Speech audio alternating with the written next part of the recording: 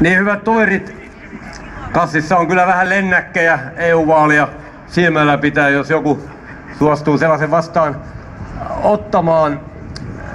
Niin hyvät toverit, niin EU-vaalit sitten 25. toukokuuta, niin ne on kyllä todella tärkeät vaalit ihan tavallisen suomalaisen duunarin, hänen perheensä, tavallisen suomalaisen näkövinkkelistä, sillä yhä enemmän ja enemmän meidän yhteistä asioista, myöskin työelämän kysymyksistä, niin päätetään Eurooppa-tasolla. Samalla kun me olemme duunareina vaikuttajia työosastoilla, työpaikoilla, kunnissa, ammattiliitoissa, suuralueella, valtakunnan tasolla, niin meillä pitää olla myöskin aktiivisuutta Eurooppa-tasolla. Ja sen vuoksi se, että viime vaalissa viisi vuotta sitten äänestysprosentti oli vain karvan verran yli 40 prosenttia, niin se oli tappio. Se oli tappio ja sen seurauksena muun muassa vasemmistoliitto menetti ainoan meppi paikkansa Euroopan parlamentissa. Nyt ympäri Eurooppaa vasemmisto on voimistumassa. Ennakkotietojen mukaan vasemmisto on jopa nousemassa enemmistöön laajasti ottaen Euroopan parlamentissa ja se viitekehys, se poliittinen ryhmä, jossa vasemmistoliitto tulee toimimaan, niin tavoittelee jopa kolmanneksi suurimman poliittisen ryhmän roolia EU-parlamentissa. EUta on, hyvät toverit, toteutettu, olen usein sanonut niin, että se on jo lainaus kyllä joltain muulta, että on ollut vähän sellainen vapaan ketun vapaus vapaassa kanatarassa. Ja tällä tarkoitan sitä, että suurpääoman, pääoman, liike-elämän, talouden ehdoilla, sen vapauden ehdoilla on unionia rakennettu. On kyllä juhlapuheissa puhuttu sosiaalisesta Euroopasta, oikeudenmukaisemmasta Euroopasta, mutta liian vähän on puhuttu ja vielä vähemmän on tehty. Tarvitaan todella muutosta, jotta sosiaalinen oikeudenmukaisuus lisääntyisi.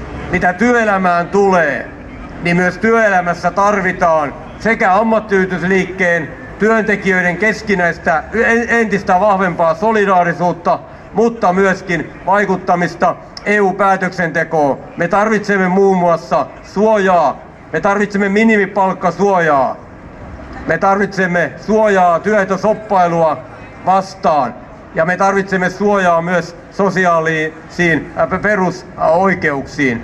Ja niitä on saatavissa vain yhteistyöllä ja poliittisella voimalla.